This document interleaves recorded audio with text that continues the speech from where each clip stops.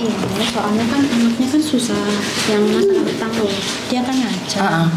Maksudnya gimana? Anaknya ngancem, tapi aku mau meminta bantuan Mami Yuni suruh nelpon dia coba ada respon apa kayak gitu. Maksudnya gimana ini? Maksudnya gimana? Hah? Masalah utang. Oke. Iya, masalah utang. Terus Miss Yuni suruh ngapain? Suruh nelpon anaknya. Lah ngapain kok saya nelpon? Kenapa? Wong saya Soalnya nggak ada nggak ada mau ngerespon. Maksudnya buat kayak semacam ngekrek dia biar ada respon kayak gitu. Nggak boleh dong. Nggak boleh. Ya nggak boleh dong Miss Yuni tiba-tiba telepon orang nggak tahu Hmm. ujuk-ujuknya seperti apa bagaimana kok Miss Yuni bagian penagihan utang emangnya Miss Yuni yang telepon dia nggak angkat telepon Siapa tahu maksudnya. nggak kan boleh dong sayang itu nggak boleh pakai bukan Hmm. kenapa dia harus takut sama Miss Yuni salah itu. Salah itu. Hmm. nggak boleh wong yang ujuk-ujuk kalian berdua janjian waktu masih utang itu sayang-sayangnya kok sekarang giliran ada masalah Miss Yuni yang suruh maju. Emangnya Miss Yuni dapat keuntungan dari apa dari semua itu? Dan satu lagi Miss Yuni kehadiran Miss Yuni itu untuk kalian kerja di Hong Kong untuk masalah peraturan atau kalian punya masalah dengan pemerintah atau kalian di penjara atau apa. Lah kalau masalah utang ya jangan nondo Hmm, tapi kalau sekiranya bukan kalau bukan buat nelpon, tapi ada pencerahan solusi. pencerahan solusi kan saya tidak tahu nih Nah, kayak gini. bagaimana awalnya tiba-tiba ujuk-ujuk saya suruh nagih utang ya salah no saya bukan debt collector loh Ah, sayang iya iya, iya. Halo? paham paham. Dia kan ada bukti kayak gini, tapi Ah. pas giliran saya ngomong halus, dia nggak ada respon. Tapi kalau giliran saya ngomongnya agak kasar sedikit, Ah. dia malah ngancem, nelfon ke majikan, malah sekongkol sama yang satunya lagi, yang satunya udah pulang Indo. Heeh. Heeh. Dia udah berani nelpon Ah, ke majikan, kan sama aja udah ganggu majikan aku kan kayak gitu. Heeh, terus Nah, majikan aku sudah ngomong kalau sampai lagi teman kamu nelpon ke aku itu bisa buat ancaman. Kamu tanya aja sama orang yang udah tahu, kira-kira bisa jadi pidana atau gimana kayak gitu loh. Soalnya kan ada ada bukti, ada bukti seperti apa bukti transferannya ada, bukti cari chattingannya dia mau ngancem juga ada. Nah ini pengancaman itu kan beda lagi nih. Heeh. jadi mak- makanya Miss Yuni kan nanya nih ada apa? Kalau masalah utang tiba-tiba Miss Yuni telepon orang. Miss Yuni bukan rentenir ya? Iya iya iya paham. Salah kalau kamu nyuruh Miss Yuni telepon orang yang Miss Yuni nggak kenal tiba-tiba aku mau suruh nagih utang. Bukan.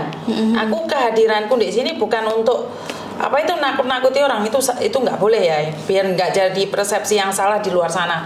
Bahwa Miss Yuni itu bukan mengancam orang lain untuk merusak kehidupan orang lain itu salah. Iya, betul. jadi Miss Yuni bisa bantu kamu nih kalau anak ini uh, menye- uh, menyalahgunakan atau merusak pekerjaanmu atau apa mah Miss Yuni baru bisa berbicara.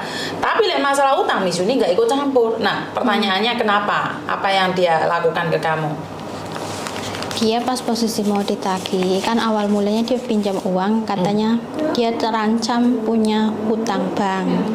Kayak saya sebagai teman kan kayak ada rasa empati, belas kasih, apalagi dia posisinya kan Dok, aja ngomong dulu dok sebentar dok Ah, single terus? parent kan, punya anak. Hmm. Nah, saya niatnya ngebantu kalau emang beneran. Hmm. Dia akan ngasih ada mau kasih imbalan. Aku nggak usah masalah imbalan, yang penting uang pokok balik. Hmm. Kamu ngomongnya tanggal ini bulan ini ya sebisa mungkin langsung balik bulan itu juga kayak gitu. Hmm, Nah, pas tiba waktunya posisinya saya juga pas lagi kontrak. Hmm. Posisi butuh, butuh data, dia bisa nggak bisa juga tetap bermasalah. Dari situ aku mulai menyelidiki masalah dia orangnya itu gimana. Terus kan namanya orang berhutang biasanya kan langsung ngumpet kayak menghilang kayak gimana kayak gitu. Nah, giliran pas ketemu infonya, dia masih bisa baik-baik. Aku mau minta tanda bukti jaminan dari dia itu tanda tangan dia sama ya tanda materai lah kayak gitu.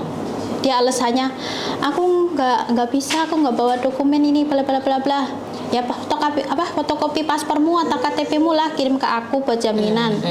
Dia tetap nggak ngasih. Hmm. Nah, dari itu aku ngubungin temennya dia yang deket Hmm. malah jadi ngancem balik gara-gara kamu ngubungin temen aku temen aku ngejauhin aku bla bla bla nah aku kan urusannya sama kamu ya mau gimana caranya aku bisa nagih ke kamu ya dengan cara apa yang aku temuin hmm. jadi kalau kamu Oke, nyalahkan kami aku oke. Jika ini bel ya. Ah, terus? kalau nyalahkan aku gara-gara aku cari info tentang kamu ya berarti kamu kan gak ada keniatan mau bayar utang Hmm. aku WA keluarga aku WA ke kamu nggak ada respon giliran aku ngomong halus ya besok ya yang ini tanggal ini minggu ini bla bla bla bla tapi akhirnya nggak ada bukti mau ngebalikin nah giliran aku ngomong agak bikin dia sakit Mm-mm. karena aku udah bener-bener sabarnya udah hilang Mm. Dia malah ngancem. Udah ajak ketemu aja. Ayo ketemu akhir bulan ini. Mau ngapain? katanya mau monggor apa bibirku kayak gitu bla bla bla bla. Tapi nyatanya nggak ada bukti dia mau ngetemuin aku. Sampai aku tunggu. Tahu aku sih dia alamatnya di Kuntung cuma aku nggak tahu lengkapnya. Heeh, makanya aku datang ke Miss Yuni kayak gitu. Siapa tahu ada pencerahan atau gimana. Soalnya dia udah ngancam ke majikan aku. Ngancemnya apa? Udah nelpon Udah nelpon. nah Terus majikan kamu bilang apa? majikan aku bukan ini bukan ceceku alamatnya juga bukan nomor telepon sama tapi alamat yang kamu tanyakan itu bukan ceceku namanya ceceku bukan itu juga soalnya kan aku kasih samaran nama Hmm. Heeh. Berarti kan dia tidak terbukti mengancam karena beda orang. Ya karena dia tapi udah bikin majikan aku jadi resah jadi berpikir aku ada urusan bank Kok sampai dia tahu nomor majikanmu? Ini ya maka dari itu saya juga berpikir dia sekongkol sama teman aku yang biasanya libur bareng aku kan orangnya ceroboh Aha. kalau ke kamar mandi HP aku tinggal Mm-mm. mungkin dari situ dia buka-buka HP ada nomor telepon majikan aku kayak gitu Sekali lagi kan itu kan kecerobohan Mundo. Mm-mm. Kan kita tidak bisa menyalahkan orang lain. Karena kan tidak mungkin akses nomor telepon majikan mereka tahu kalau kamu yang nggak ngasih tahu. Mm-mm. Benar nggak? Iya. Jadi itu kecerobohan pertama. Dan yang kedua, masalah utang. Jika ini utang-utangan bermasalah, kemarin ada satu anak bermasalah sampai mes- masuk di mahkamah sampai sidang. Visanya nggak bisa di renew dan majikan ngeluarin dia. Pertanyaannya, Miss Yuni nih tiap hari udah ng- ngasih tahu jangan utang-utangan sama temen. Kenapa masih utang-utang terus? Mbak suaranya kresek mbak, jangan jangan kresek-kresek. Tolong jadi kalau kalau selalu ngutangin kan otomatis resikonya ada di kalian gitu loh. Mm-mm. Jadi resikonya kan ada di kalian. Terus kemarin kalian kehilangan pekerjaan, kalian tidak tidak tahu seperti apa dan bagaimana kan ya melas kalian tuh. Padahal saya sudah ngomong berkali-kali, jangan sesekali, jangan sesekali. Aku udah ngomong jangan sesekali loh mbak. Eh, kalian minjem satu sama lain karena resikonya kalian kehilangan pekerjaan. Berapa orang sih kehilangan pekerjaan gara-gara utang? banyak Lah ya. Mm. Oke, kamu simpati karena keluarganya sakit atau apa? Dia simpati nggak sama kamu? enggak Dan utangnya dia total berapa? Totalnya itu dari pertama dia pinjam itu satu minggu dua kali minta bantuan tiga satu lebih 31 itu berapa? 3.100 lebih yang keduanya itu 4.000 Hmm. terus ada pinjam lagi buat Masuk. apa buat jajan dia kalau libur Heeh. aku kasih eh Uh-uh. tetap aja Heeh. ya aku udah hitung semua katanya minta di korting padahal hutang udah lebih dari dua tahun Oke. Hah. jadi totalnya sekitaran ya 7.000 lebih lah 7000 lebih. Heeh. Nah, sedangkan taruhannya posisi kayak gitu kan uang saya butuh. Suami operasi, rumahku kebakaran.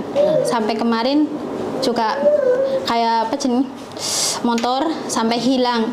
Kan ke posisinya rumah lagi butuh keuangan. Hmm. Nah, saya butuh secara baik-baik, tapi kenapa dia malah ngancam terus kayak gitu? Lah itu sifat manusia saya. Ah, iya. Itu sifat manusia. Saya saya tidak bisa apa ya membantu orang yang aku udah dibilangin jangan sampai pinjam sana pinjam sini, jangan meminjami. Hmm, Biarin aja dibilang kejam.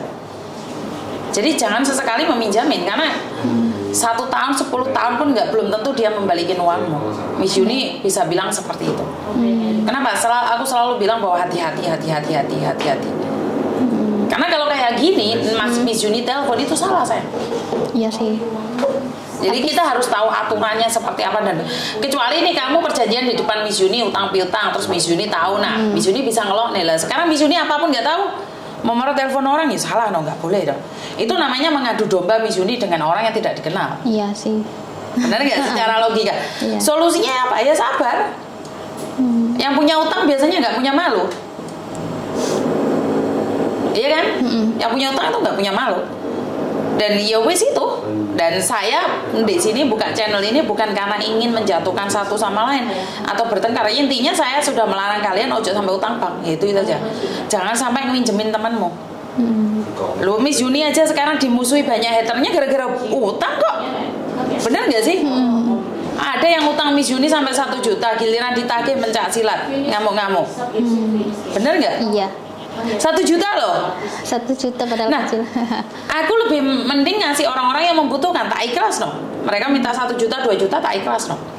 Tapi like, namanya utang itu tetap utang dan ada perhitungannya.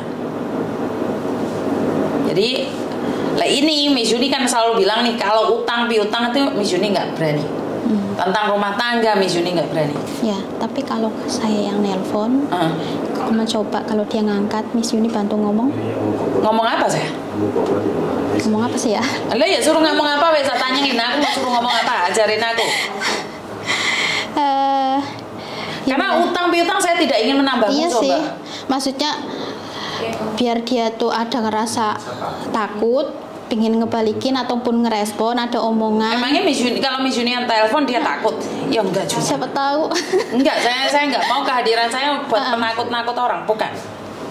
atau Nggak boleh. mungkin apa sih ya? Nggak bisa sih. Ini namanya kamu minta pembenaran dari Miss Yuni, nggak boleh saya. Iya sih. Kamu ngorbanin eh, apa identitasnya Miss Yuni demi utangmu uangmu tujuh ribu.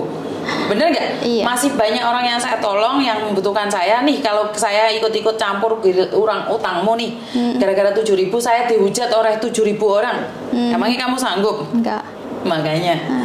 jadi Miss Yuni akan membantu tentang peraturan, tentang orang sakit, tentang yang membutuhkan bantuan. Tapi masalah utang piutang saya katakan tegas banget, saya tidak ikut campur. Hmm. Karena kalau uang itu kembali nggak mungkin aku dapat separuh, Ya. Bener nggak? Hmm. Dan nggak mungkin juga waktu kalian utang piutang saya punya kopi, Hmm. bener nggak? Iya benar. Ya ke- kecuali nih kalau Yuni ini tak balikin uangmu dapat separuh, mungkin saya masih mikir. Tapi sekali lagi saya tidak akan melakukan. Kamu kasih saya separuh pun saya tidak akan melakukan. Karena ini prinsip saya. Masalah uang itu berbeda. Yuni sangat tegas tentang uang. Ya, mau aku mau kena di uang karena nggak ikut campur. Iya sih. Ngerti? Ya. Ada yang lain lagi? Ada yang lain lagi nggak? Arvin curhat. Oh, nggak jadi. Nggak jadi. Kenapa sayang? Kamu juga utang juga? Bukan. Oh, Oke, lah, masalah kerjaan apa pun saya nggak apa-apa. Tapi kalau kalau masalah utang saya memang tidak berani ikut campur. Ngerti? Iya iya iya. Ya wes, makasih. Oke.